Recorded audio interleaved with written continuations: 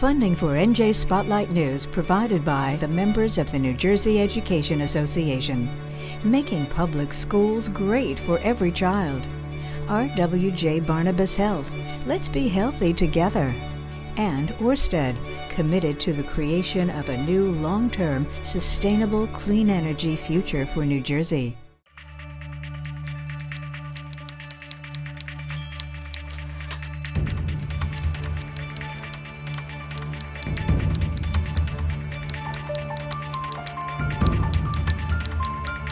NJPBS, this is NJ Spotlight News with Briana Vannozzi. Good evening and thanks for joining us tonight. I'm Briana Vannozzi. More state residents will soon be eligible for the COVID-19 vaccination. Governor Murphy today expanded the pool to those 55 and older starting April 5th, along with anyone over the age of 16 with intellectual and developmental disabilities. The next tier of essential workers will also be included. That's higher education teachers and staff, public utility, communication support, and sanitation workers among the larger list. The announcement announcement comes even as residents continue struggling to get a vaccine appointment.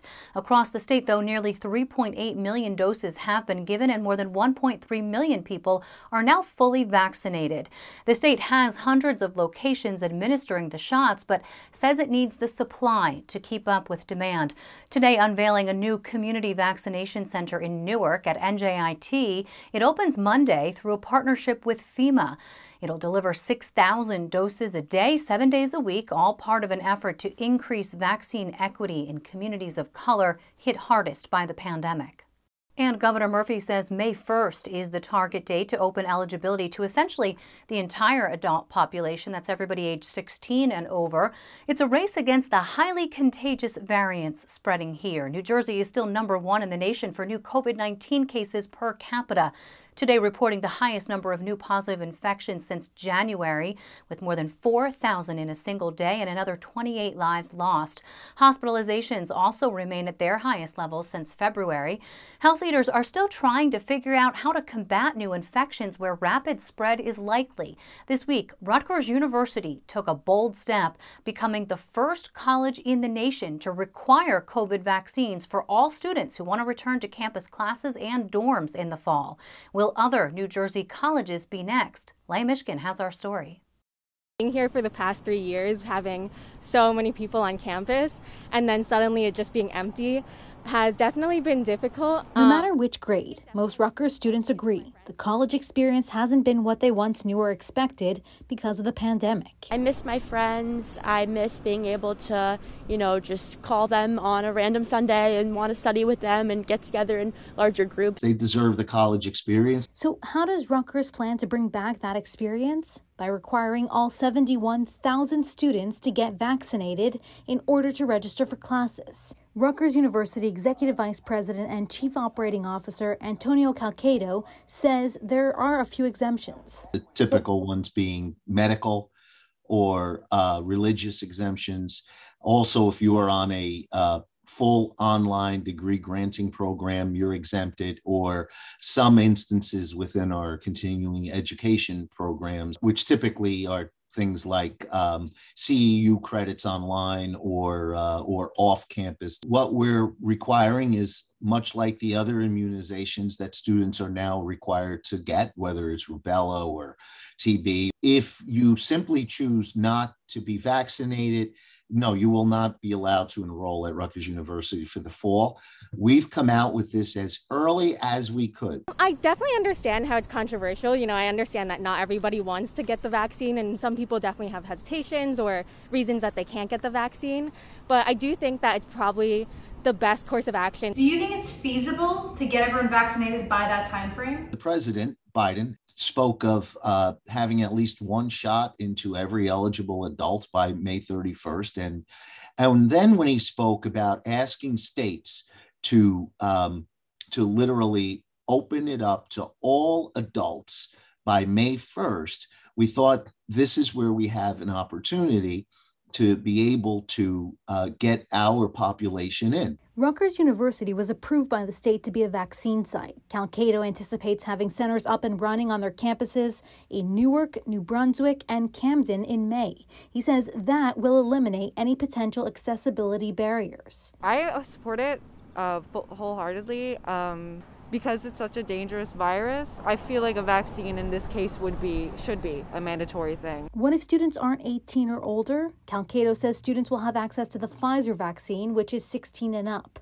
Epidemiologist Stephanie Silvera hopes other universities follow suit. So right now what we know is that adults aged 20 to about 49 are the ones who have had and consistently had the highest reproduction or transmission rates. So it certainly makes sense um, for have the students vaccinated, particularly if they're living in a communal living setting. The vaccine is not mandatory for faculty and staff, but the school will offer it to anyone eligible in the community at their sites. Having all of the students who are in a classroom will certainly reduce the likelihood um, that the virus will spread to the faculty.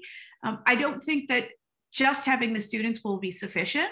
Um, so we want the faculty to be vaccinated as well. Antonio Calcado says they're trying to create the safest campus in America, and the vaccine is their strongest tool. I'm Leah Mishkin for NJ Spotlight News. Support for the medical report is provided by Horizon Blue Cross Blue Shield of New Jersey, an independent licensee of the Blue Cross and Blue Shield Association. Well, the nation is also facing a crisis at the border. It's not a new problem, but one that's persisted under both Democrat and Republican presidents alike. Yet the situation is different now, in part because of the pandemic. Here at home, immigration advocates have been pushing to expand both protections and resources for undocumented residents. As controversy grows over lucrative federal contracts enabling county prisons to house detainees, Joanna Gagis reports on the struggles inside New Jersey's immigrant communities. Jorge and I were happily married before he was arrested. He has just started his painting uh, company and it was going well. We love our daughter Rachel and we were looking forward to welcoming a new baby into our family. Jorge Chajon was an undocumented immigrant who came to the U.S. alone at the age of 13 and was given DACA status under President Obama. But after marrying Sharon, a U.S. citizen, he decided to apply for a green card. But because a mistake was made on Jorge's application, immigration authorities denied his green card. We filed then for an appeal, but again, it was denied and just within a week, he was detained. Arrested in front of his home as he was getting ready for work. It's a story familiar to many immigrant families in New Jersey. New Jersey has been the so called detention hub for the region. There are currently 371 ICE detainees in New Jersey, ICE being the U.S. Immigration and Customs Enforcement. Out of the four centers that house them, nearly 200 are in Essex County alone.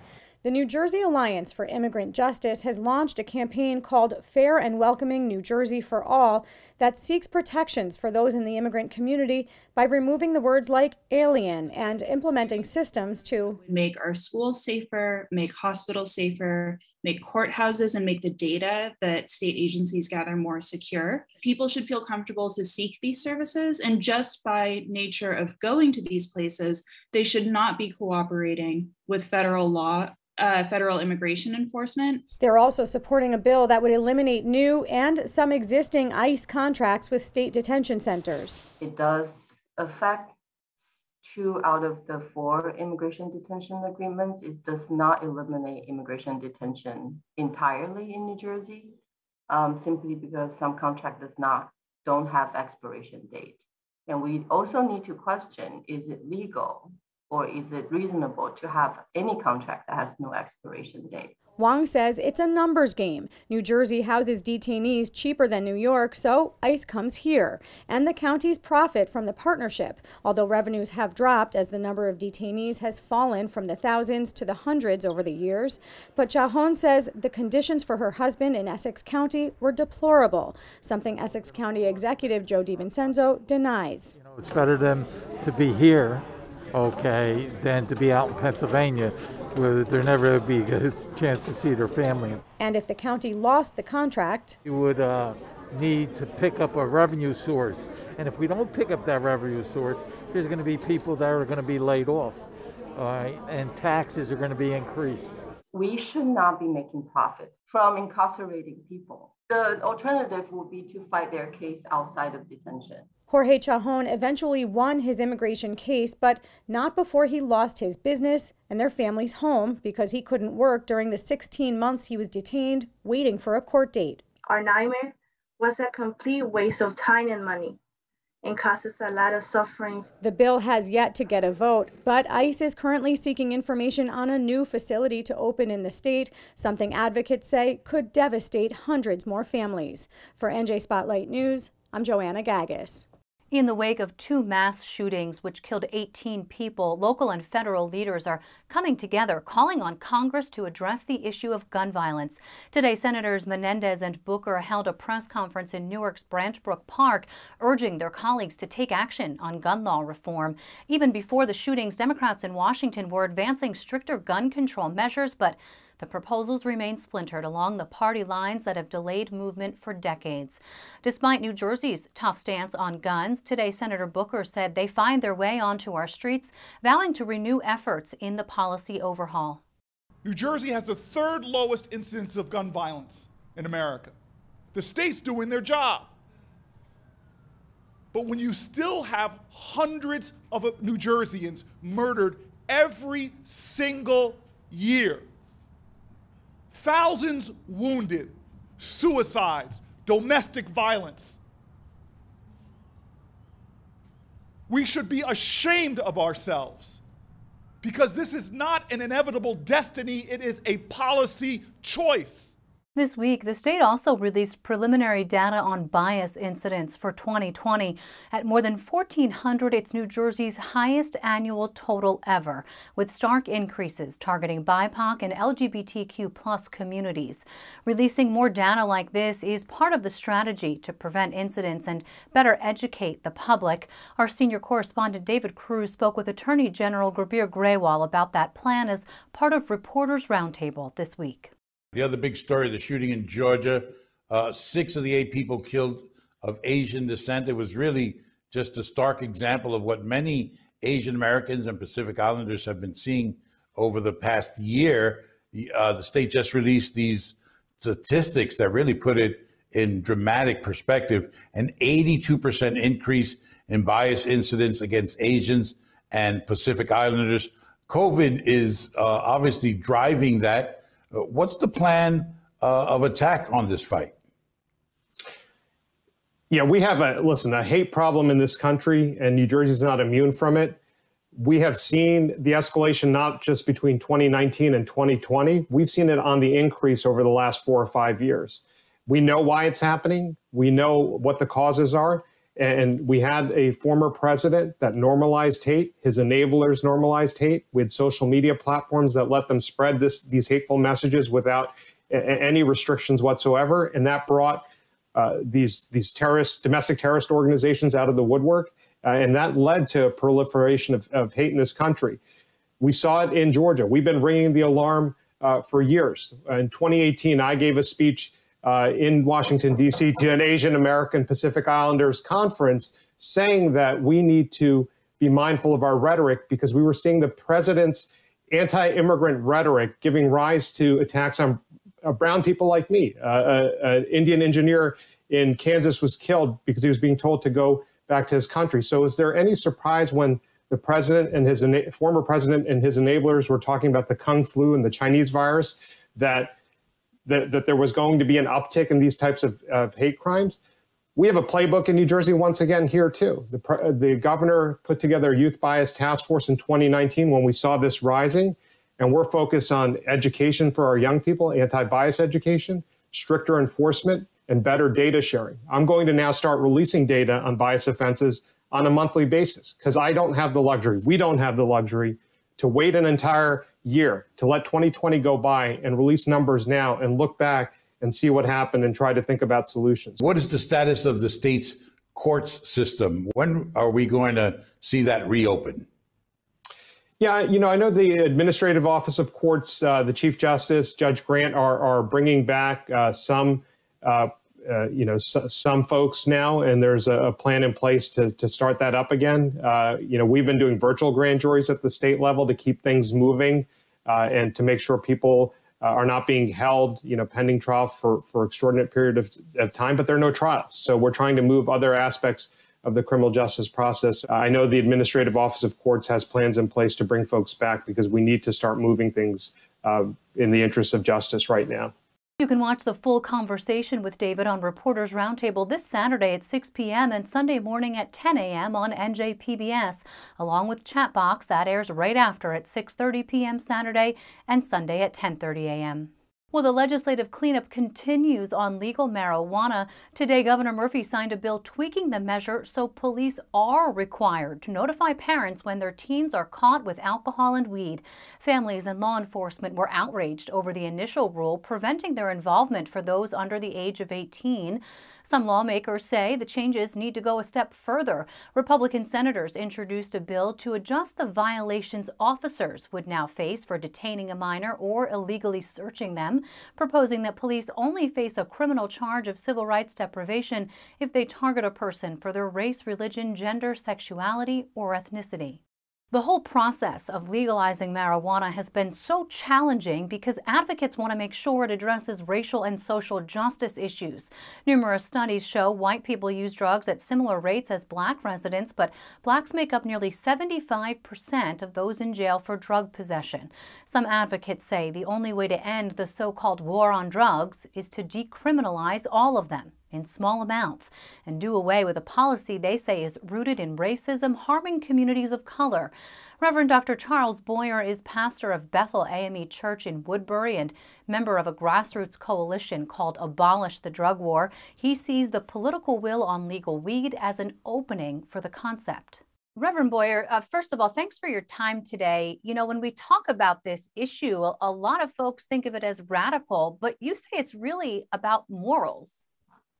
Absolutely, absolutely. I think we are at a, a kairos moment, a very potent time in our in our state, in our country, where folks are revisioning, reimagining, and re-understanding what compassion, what health, uh, what morality, uh, and what justice looks like. And so um, uh, this this really isn't about uh, being radical in the sense that people traditionally think about it, but it is about radical love. It is about radical grace, radical mercy, and ultimately radically doing what's right.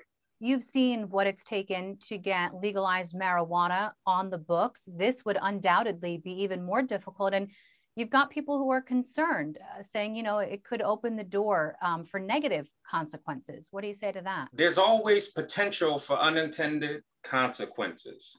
But what we do know is what we have been doing has not worked. This June, this July, we will be celebrating 50 years of Nixon's declaration of the drug war. A drug war which has been rooted, which was rooted in racism by their own admission. And so what we can't do is continue to perpetuate a deeply structurally racist system, what we can't do is continue to break families apart, to hurt people, to demonize people. That's what we can't do. In your mind, or in an ideal situation, what would this decriminalization look like? How would it play out in the communities that you work with?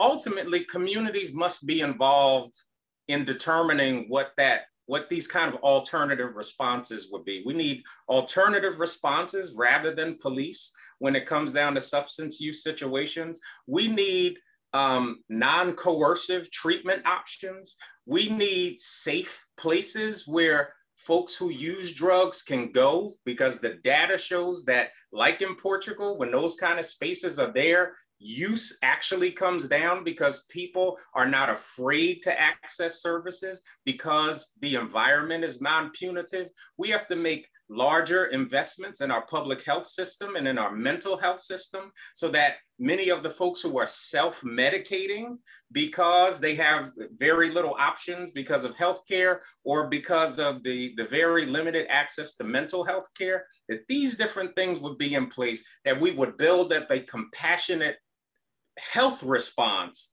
and begin to dismantle the criminal justice response. Reverend Boyer, good to talk to you. Thanks for your time today. Same here. Thank you. This week, Transportation Secretary Pete Buttigieg said he's committed to getting the long stalled Gateway Tunnel project back on track, starting with completing an environmental impact study that's delayed the project. He says it'll be done by June. He told the House Transportation Committee it's a regional issue with national significance, echoing what transportation advocates and elected officials have said for years.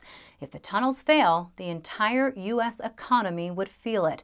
The project would build a new rail tunnel under the Hudson River to allow existing tubes to be closed for repair of damage caused nearly a decade ago by Superstorm Sandy. Former President Donald Trump opposed the project, including some sources of funding for the tunnel. Now, a quick check on how Wall Street rounded out the trading week.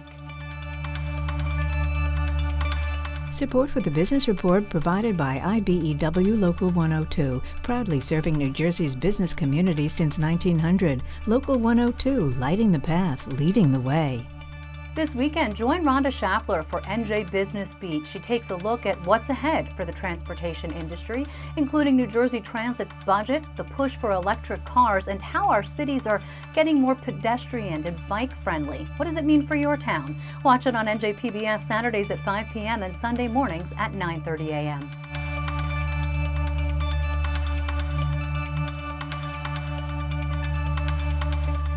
Tonight, we bring you part two of a candidate conversation looking at one of the most hotly contested primary races this election cycle between two former running mates and friends in Bergen County's 37th legislative district. Democratic Assembly members Gordon Johnson and Valerie Vainieri Huttle are both vying for the longtime seat of retiring Senator Loretta Weinberg. Gordon has the backing of the party. Huttle wants an open primary. The battle is sparking division among the party. Our chief political correspondent Michael Aron goes on the record with Assemblyman Gordon Johnson. Assemblyman Gordon Johnson is locked in a tough primary fight with his longtime running mate, Assemblywoman Valerie Huttle, to succeed Loretta Weinberg in the state Senate why, why should voters of the 37th district vote for you over Valerie Huttle? Uh, well, number one, uh, my whole life has been dedicated uh, to community service, to service to the people I, I, I uh, represent, either as a police officer in the city of Englewood for 24 year, years, or as a Bergen County sheriff for uh, in the sheriff's department for six years, or as a, a state legislator for 18 years my whole life, and also and also a member of the military where I was mobilized twice. So that and that was service to country. So my whole life has been towards public service, and also I, I feel that uh, one has to go out and be with the people you represent. You're saying that you've been more out in the community than Valerie Huttle? I have been out there working and walking with, with the people. Uh, during the process, as you know, the process to uh, to get the county line, one has to go out and collect signatures from the county committee people from uh, 13 towns. I went out to 12 or 13, talking to the county committee people, uh, talking to the people there and collecting signatures. And that's how I operate. I want to be with them. You know, when I've been covering politics for a long time, there's very often a red herring thrown into a political race, something out of left field.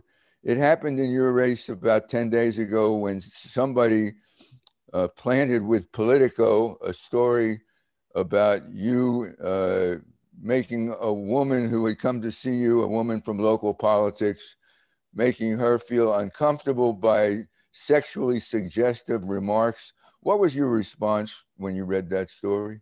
Yeah, uh, this uh, came out like, uh, well, she says it happened 13 years ago. I do not remember the incident itself. Uh, I have a lot of respect for Dr. Paul, Dr. Deirdre Paul, and I will not, uh, I will not disparage, disparage her. So, uh, and I've reached out to her. Valerie Huttle says that you're the candidate of the bosses. You have the endorsement of the Bergen County Democratic Organization, uh, of Governor Murphy, of Senator Weinberg. Uh, to Valerie, that makes you the candidate of the bosses. What do you say to that? Well, uh, I, uh, I have a lot of respect for Senator Loretta Weinberg. She's been my mentor for the past 18 years in this position. And uh, if if Valerie wants to call her a boss, that's that's her decision. But uh, uh, I, I, I followed the mentoring of Senator Loretta Weinberg for years. You've been running mates with Valerie Huttle for 16 years. You've been in the legislature for 20 years. How awkward is it to suddenly be at war with someone you were allied with for so long? Well, you know, that's it's just part of this democratic process. And everyone knew that one day uh, Loretta Weinberg, Senator Weinberg, would be de- departing, would be leaving. So uh, I feel that I am the correct person to put this position in the state senate, and apparently Valerie does too. So we'll see, uh, you know, how, how it plays out. But uh, that's just part of the democratic process. All right, Assemblyman Gordon Johnson, thanks for being with us. Thanks for having me. Finally, a collaboration built nearly 3,000 miles apart. Newark's Mayor Ras Baraka is teaming up with the mayor of Los Angeles to help cities grappling with the increase of violence spurred by the pandemic. Together with community safety experts, they're launching the nation's first ever Association of Community Based Violence Prevention and Public Safety Programs. The CBPSA will include leaders and organizations from major U.S. cities and help build support and funding to reimagine public safety so it doesn't rely on but complements policing and begins to reform the criminal justice system on a national scale. The mayors say it's all about understanding violence as a public health issue. And that does it for us this week, but head over to njspotlightnews.org or find us on social to continue following our reporting all weekend long. And a joyous Passover to all those celebrating this weekend. I'm Briana Vannozzi for the entire news team. Thanks for watching. Have a beautiful weekend. NJM Insurance Group, serving the insurance needs of residents and businesses for more than 100 years. And Horizon Blue Cross Blue Shield of New Jersey, an independent licensee of the Blue Cross and Blue Shield Association.